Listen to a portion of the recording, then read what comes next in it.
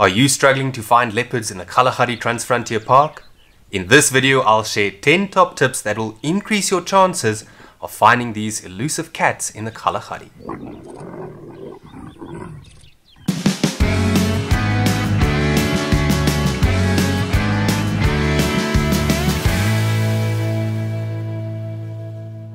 Hi, I'm Phileas Steyn and I'm the safari expert. And yes, I know that first video clip of the two leopards mating seemed way too green for the Kalahari. But in fact, it was filmed just two weeks ago when I visited the park after it had a huge amount of rain in a very short period of time, turning it into a lush paradise. Now, I went to the park with my friend Owen Grobler and in just two weeks we saw five different leopards. Now, for those of you that don't know, my background is actually in leopard research and there's no other person on earth that spends more time looking for leopards than Owen, including these ghosts that live in the Hoedspruit Wildlife Estate where both Owen and I stay. Now seeing so many different leopards in one trip had less to do with luck and more with the fact that we combined all our skills and knowledge to increase our chances of seeing these magnificent cats that so many people struggle to find when they visit the Kalahari Desert. So I thought why not share with you my top 10 tips to find leopards in the Kalahari. Now before I do so, please remember to check out the description below for any important links and information that I mentioned throughout the video. And if you enjoy it, also consider subscribing to the channel. As always, I've left the most important tip for last, so make sure you watch to the very end. Right, let's start with tip number one. You've got to search in the best areas. Now over the past 25 years, I've seen leopards right throughout the Kgalagadi Transfrontier Park, but there are certain areas where my hit rate has been a little bit higher. Now, one of these areas is in that middle section of the Auob riverbed between Gemsbok Plain Waterhole and Kamqua picnic site. I'm not 100% sure what it is that make leopards like this area so much, but perhaps it's because there are so many camelthorn trees there, or perhaps it's the fact that the riverbed is so narrow, increasing your visibility. There's also a lot of calcrete ridges there, which I'll speak about a little bit later in this video, and the leopards really seem to like that. So make sure you spend some time between Gemsbok Plain and Kamqua picnic site to increase your chances. Another area that's really good for leopards is the southern Nossob, between Twee Rivieren and KK Waterhole. I've seen quite a few leopards there over the years. Now when it comes to camps specifically, my two favorite camps for leopards are Urikaruus and Grootkolk Wilderness Camps. Now Urikaruus is great because not only is it very close to that area in the Middle Auob that I just spoke about, but it's also got a waterhole very close to the camp itself. And I've seen leopards drinking there at night on numerous occasions. Grootkolk's a little bit different. I haven't seen leopards on drives around the camp, but I've also seen them drinking at the waterhole just like Urikaruus on numerous occasions. But what makes it different is that my sightings have always been during the daytime. In the wilderness camps, you'll find a little sightings book in your room where the people that stayed there before you will give you an idea of what they saw around camp and also at the camp waterhole. And on a number of different occasions, I realized that there were leopards seen kind of mid-morning or early morning at the camp waterhole. So I actually sacrificed drives or morning drives a few times from Grootkolk and saw leopards coming down to drink at the camp. So my tip here is that if you visit one of these wilderness camps that have a waterhole in front of the camp, check the sightings book and see whether there's some kind of trend of leopards that come down to drink at a specific time of the day. Now it's worth mentioning that unlike Urikaruus, the waterhole at Grootkolk is quite far away from camp, so if you want to get some nice close-up photographs of the leopards that come and drink there, you'll need a lens that's at least 600 millimeters long. And if you don't have one, you can consider renting one from Outdoor Photo in Pretoria, and I'll add a link to their rental department in the description below. Tip number two is get to know the leopards first. Now the best way to do this is to follow a page called the Kgalagadi Leopard Project on Facebook. Now what happens here is people from all over the world share their photographs taken in the Kalahari and the creators of the group will then go and identify that leopard and place it on a map that shows the movement of that specific animal.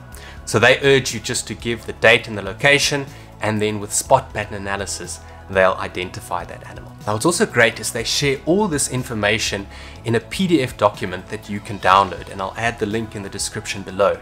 And that then gives you a great idea of which specific leopard you're looking for when you're driving a certain stretch of road. So when I leave Twee Rivieren, I know I'm looking for the Bocello male or for Ikaya or Itemba. And because it's updated regularly, you also know whether those females have cubs or not. Tip number three, check the latest sightings. Now the best way to do this is to go to another Facebook group called Kgalagadi Sightings and you have to join and be accepted first before you can check those sightings. Now this is great because people share all their recently taken photographs on this group, sometimes even from within the park and that means you know that those animals were literally seen that morning or the day before. So before I go to Kalahari, I'll kind of play around and browse around on that Facebook group a little bit to see what exactly the trends were for the month before my trip. And often you'll see that there's a specific leopard that was seen in a specific area very regularly. And that's the area that I would then target. Tip number four, get some expert help. Now, there's no one that knows the park better than the authors of the book Kgalagadi Self Drive Routes, Roads and Ratings. And they've basically got decades and decades of experience exploring the park and they share all of it in this wonderful book. Now, what I love about this book so much is that it literally talks about every single stretch of road between the different waterholes and what it looks like there and what you can expect to see. And that obviously includes a lot of wonderful information about leopards specifically. And as you'll see from the tips to come, I talk about the dunes, the calcrete ridges, and the camelthorn trees. And in this book, they'll also focus on those specific features that leopards love so much. It's definitely a book to add to your collection. And the wonderful thing is that you can order it online. And I'll add the link in the description below. Tip number five is to drive slowly and at the right times of the day. Now many people think that desert leopards are very shy, where in fact I've actually noticed that many of them are quite relaxed. And perhaps that's because they spend so much time along the two riverbeds where there's a lot of traffic. The thing that makes them so difficult to spot is the fact that they are extremely well camouflaged in this desert environment. So you can easily drive past them if they just sit still. So rather than racing from one waterhole to the next, Rather drive very very slowly and look very carefully for spots, sometimes even stopping and looking through your binoculars. Now in the next three tips I'll actually tell you which parts of the environment you'll be driving through you should scan extra carefully because the leopards love it so much. It also helps to drive very early in the morning and late in the afternoon when it's a little bit cooler because that's when leopards are most active. What I have realized though in the Kalahari specifically, leopards do sometimes move around in the middle of the day as well, so the more time you spend out there, the better your chances of finding them. Tip number six is check the dune crests. Now when you drive along the Nossob or the Auob riverbeds, you'll usually be driving along a sandy dune on the one side, and often the dune crest is very high up above you. Now, most of the large predators like leopards, lions, and cheetahs love sitting right on top of that dune or walking along that crest. And the reason for this is it just gives them that wonderful elevation to look down to the riverbed where a lot of their prey will spend their time.